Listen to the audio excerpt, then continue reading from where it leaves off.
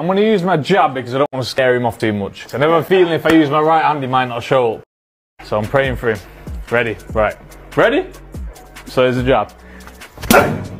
Oh, and that's what would happen in the ring. Oh my god. And that is with the Oh, jab. just the jab. That's the jab. That's the jab. It's what I say, if I threw the right hand, he wouldn't be showing up. is it. You're going to be retired from boxing after this. You're going to be disowned by your family. You're going to go back to your mother's maiden name.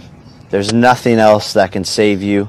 It is just me and you, mano a mano. Your brother's not in the ring anymore with you. Your dad's not in the ring with you anymore. Molly's not in the ring with you anymore.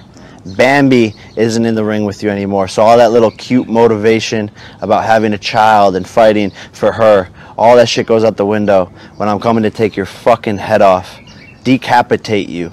I'm a mean, angry person deep down. I'm gonna take out all of it on your fucking face. And there's nothing you could do to fucking beat me. I'm built different. I want this more than you. I have more of a why. I'm more tapped in. I'm more emotionally intelligent. I'm more spiritually connected. I've worked harder every single day, in and out. I have a better team. I have a better support system. And guess what?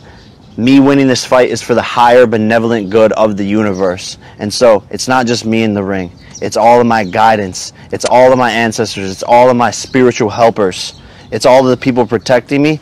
And together we are going to fuck you up. You have four rounds and then you are fucked. Tommy Fury, this is it for you.